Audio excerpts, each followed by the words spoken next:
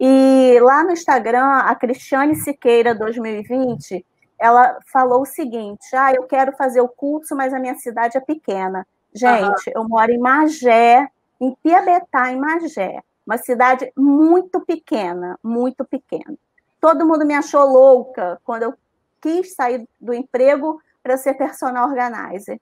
E olha, eu digo para você, Cristiane, não tenha medo. Na cidade pequena é onde a gente se dá melhor, porque só tem a gente. Aonde eu, eu chego, as pessoas dizem que escutam as minhas dicas, que me seguem não no é? Instagram, é? que gostam do meu trabalho. Então, não tenha medo, faça faça. Eu fiquei com medo também e hoje aqui eu não no, me arrependo. Aqui no Rio de Janeiro capital eu tenho que concorrer com centenas. Sim, exatamente, exatamente. Mas, é né, é, Diana, a gente vem falando aqui nos últimos quatro dias, praticamente, sobre as infinitas possibilidades, né? Tanto de trabalhar pela Sim. internet, de trabalhar fisicamente. Então, assim, não tem mais essa questão de ah, cidade pequena, ah, cidade grande, não, ah, porque eu moro no interior, ah, porque eu moro fora do Brasil, ah, porque eu moro dentro do Brasil. Não tem mais isso, né? Não assim, o, o, ainda mais depois da pandemia, assim, que a questão da, da, da, globalização, da internet e tudo mais, foi assim, né? Foi um estalo, todo mundo Sim. aprendeu a usar. Então, Sim. nosso serviço só ampliou. Sim, sim. Eu tenho aluna em, na região dos lagos. Então, quer uhum. dizer, bem distante daqui, né? Sim. Então, na, nada nos impede, nada nos impede. É só a gente querer, ser gentil e ter coragem. E um detalhe, Priscila, ser gentil principalmente com a gente, tá? Porque às Sim. vezes a gente se cobra muito, a gente se coloca para baixo, se acha incapaz, e a gente precisa trazer essa gentileza para a gente também, sabe? Para a gente é, trazer essa força que tem dentro da gente para fora. É verdade. Acreditar na gente, acreditar mais na gente, né? Sim, sim, sim, principalmente.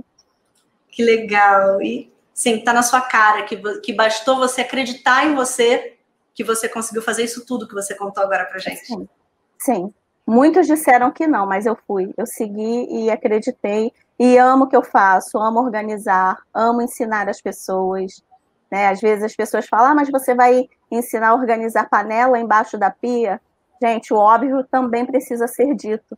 Então, às Tem vezes, você gente fala uma coisa sabe, que. É, a pessoa fala: Meu Deus, eu nunca pensei nisso. É. E é incrível, a gente se, se sente muito bem estar ajudando as pessoas a destravar essas coisas, sabe? Uhum. As pessoas, é, principalmente as mulheres, né? Como você falou, trabalha-se muito com as mulheres nesse universo.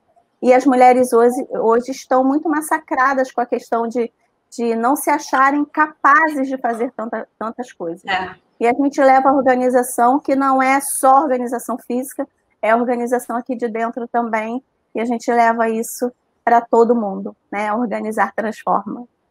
É isso aí.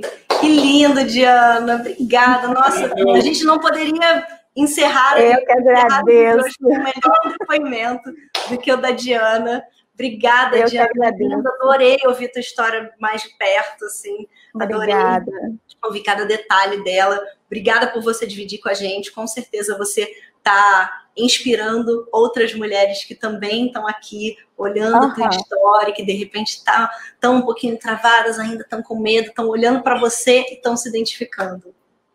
É verdade, Priscila. E a gente precisa levar essa mensagem, sabe? Levar a mensagem que nós aprendemos com você, de que nós podemos tudo sim, e através da nossa profissão, o que é mais que uma profissão, é uma missão de vida. É assim que eu considero. Eu também acredito nisso. Obrigada, meu amor. Um beijo. Obrigada a vocês. Beijo, beijo, Hugo.